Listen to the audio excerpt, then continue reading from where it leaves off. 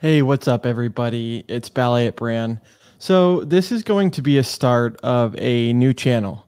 And I want this channel not to be uh, solely focused on cryptocurrency or hex, but instead, I want this video or this channel and this video uh, to kind of broadly cover some of the sci and some of the self help that Richard Heart has talked about and that he's also lived. Uh, the reason why I think this is so important is because, you know, um, people like myself or a lot of the Hexicans, uh, we've we've done very well and continue to do very well um, financially, right? But then that's just one aspect of life, and so there's other things, uh, relationships, uh, management, you know, business, things like this, friendships that uh, that come as well with the you know financial category right? So you don't want to just be good at one thing you want to be well rounded and balanced in all the things in life for you know a happy successful uh, long lasting life. So without further ado this first video it's going to be on like mentality your mindset and how even if you are not successful right now and even if you're not wealthy right now or healthy, whatever goal you're trying to achieve, it starts up here, right? It starts with the thought. And most people just stop there, right? Most people just have very bland goals, very unspecific goals. Um, so the more that you can take a goal and specify it in detail, and then also instead of just thinking about it, if you can also write it down too and have more energy into that work, then generally you'll be able to do a lot better than just the people that that just think about it in their head. Okay, so without further ado, let me go over to the video. This is a clip that I made. It's uh, being rich versus being wealthy. It's a state of mind. Richard Heart. Let's listen to 30 seconds to a minute of this clip. My question is very short. So are you, sir. So are you. I have 10,000 hex. Okay. How long time take me to be rich? Well, so I tell you, I tell you a funny thing about being rich. Rich is a state of mind. There's no number that will actually make you feel rich. I can tell you as a person who's got a lot of numbers. I got a lot of numbers, and usually I don't feel rich. Usually, I really don't. I gotta tell you, man. You pick up the phone here, call downstairs. No one's answering. I don't care who you are. You call from off site. You're like, hey, maybe they answer the remote phone. Call from the cell phone. They're not answering supposedly five star hotel. I don't feel rich. Is it the same for everyone? It's the same for everybody. So if you want to truly, if you really truly want to feel wealthy, it's a state of mind. If you focus on what you have, you will feel wealthy. If you focus on what you do not have, you will feel poor. It doesn't matter how much you have. And the worst thing is, the more that you have, the more opportunity you miss. The more that you have, the more tax you pay. The more that you have, the more your friends steal from you. The more that you have, the more select the things you want are, you can't even get them. You get into a waiting list. Oh, you want the newest Ferrari? How many other Ferraris do you have with us, sir? Okay, so that is a, you know, a general part of the clip that I wanted to play. Once again, that's the founder of Hex. That's the founder of SciVive, which is like a self-help book. And I'll tell you what, there's so many different topics, so many different passages. And this is just one brief video, right? It's my pilot video for the uh, Sciviving Hexican YouTube channel. But I really agree with what Richard has said. And, you know, finance was never something that I had succeeded in the past. And, you know, it's continuing to get better and continuing to become a reality as far as the succession. But um, as far as other goals too, right? Uh, I've gained a little bit of weight, and uh, especially from last year. And you know, part of having that change that I want to happen is focusing on what I want to happen versus focusing on, you know, being overweight and focusing on the negative.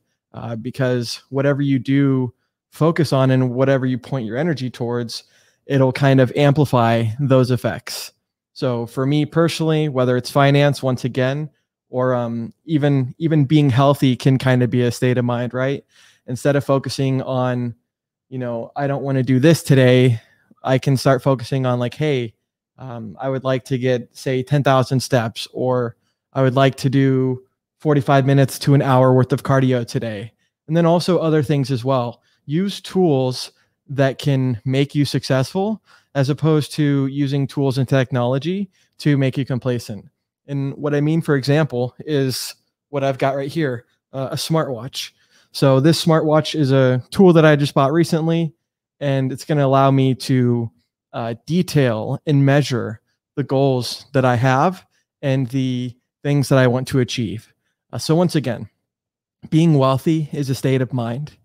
And I I implore and I suggest people take this channel very seriously and the Sci-Vive book itself very seriously, um, because if you if you want something, if you want to achieve something, you have to put yourself in that position first. You know, you have to put yourself in the position that you you think you're worthy of of being healthy, right, physically and mentally, um, and same thing, wealthy. And the reason that this is also important is is practicing what you want your future to look like is because sometimes getting wealthy can happen almost overnight doesn't generally happen with health so it's a little bit different but people have what's called sudden wealth syndrome. These are people that have won lotteries that say signed a uh, a major contract right for sports. And i find out we find out through history that some of these people that you know they never thought that they were going to be in the position they are in then um, which is wildly wildly wealthy. But the thing that they didn't plan for usually and what we see is say family members coming around and always asking for money or even just material items in general right a lot of people that say get a lot of wealth they tend to not necessarily manage their wealth as much as they would like to. They tend to, you know, spend it more frivolously and just kind of willy nilly without thinking about it um, as much. You know, so when you've got a little bit of wealth or when you've got a, a, a set budget, you need to plan how much your groceries are, right? How much all of these other bills are. But sometimes you can get to a point of of excess wealth where it's like, oh, I don't care how much this is. Let's just buy it. Let's just buy it. And then those kind of habits that you used to have that you're not practicing anymore, they can really catch up to you where all of a sudden at the end of the year, you know, you've spent X amount of dollars and you might not even know where half that money, if not more than that, has gone. So once again, this is a introduction video uh, to my Sci-Viving Hexican channel. Um, I chose that name specifically because life is always a journey, right?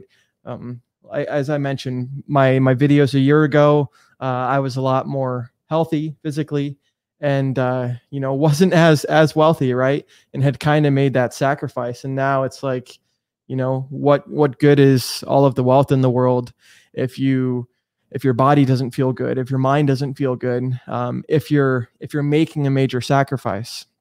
So this channel and these videos are also to keep myself accountable, right? Anytime that you've got something um, in in video form, especially when it's being published to uh, to my YouTube channels, then it allows the audience to keep me more accountable. And so I'm working on goals daily. Uh, the last thing that I'll say is, once again, I su- suggest that people make like a journal and start writing down their goals of what they do want, not just for health, not just for wealth, but all of the aspects in life that you want. Um, because you'll find yourself if, if you're just fulfilled in say wealth or just fulfilled in say health, but maybe not relationships, you might be lacking something that uh, that you're looking for, right? So that's all I have. I want to make this under a 10 minute video. Uh, thanks again, everyone, for watching. Please give me some feedback. Uh, we're testing out the new microphone setup, so I'm hoping to um, upscale and make better the actual production quality, the audio quality, and the content quality. We're going to try and keep this channel not crypto based, but we're going to keep it strictly to self help and then also my journey, right? I want to document my successes, my failures, so we can all learn from them together and so we can grow together and achieve the things that we all want to do. So, thank you, everyone. I'll see you on the next one. Okay.